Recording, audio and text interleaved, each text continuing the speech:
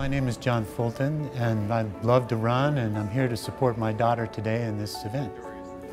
Well, we started off running when she was very, very young, six, seven years old.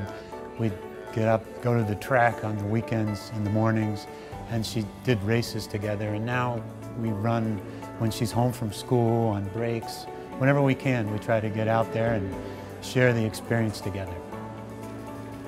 It's definitely become our bond, and, and it's a time when we can talk to each other. It's a time when you can, she, she can share whatever's bothering her, or tell me what's going on in our day. It's hard to find that kind of undivided attention. Even though we're running, we can have a better conversation probably than, than at other times. I think the biggest thing running's done for me and her as well is it, it evens things out. It's a way to relieve stress.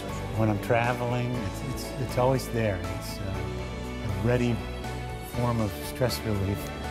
We both try to run every day if we can, and that's probably the biggest thing is that it just can kind of calm down a stressful world otherwise.